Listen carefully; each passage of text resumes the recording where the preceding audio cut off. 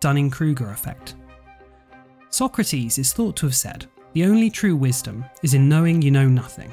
But due to a cognitive bias called the Dunning Kruger effect, knowing how little we know is actually very difficult to do.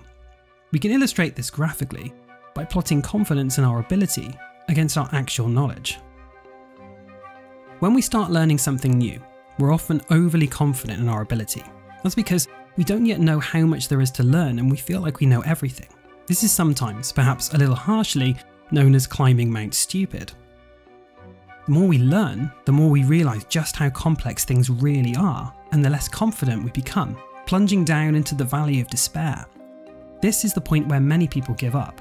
But if we keep going, we can become more knowledgeable and almost as confident in our ability as we were at the beginning of our learning journey.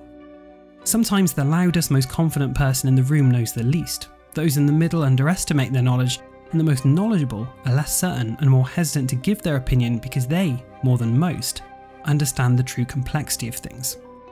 One of the best ways to avoid overestimating our ability is simply to gain more knowledge about something. The opposite of the Dunning Kruger effect is imposter syndrome, which you can learn more about by clicking the link above.